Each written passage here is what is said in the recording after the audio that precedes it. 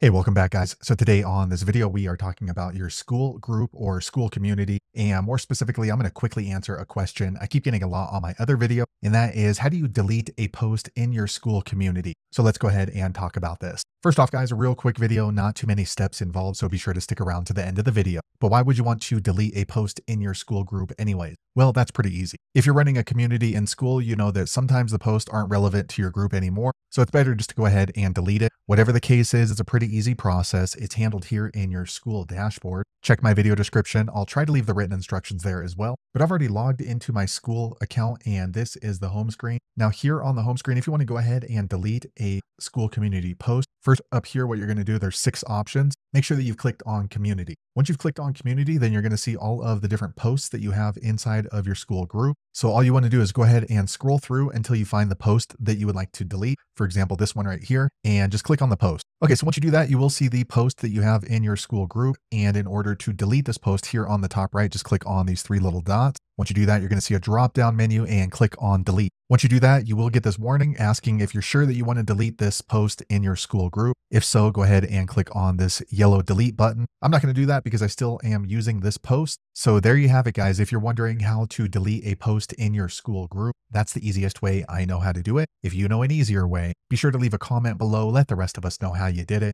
Hopefully you found that video useful. If so, click thumbs up or maybe consider subscribing to my channel and I hope to see you on the next video. Thanks again for watching.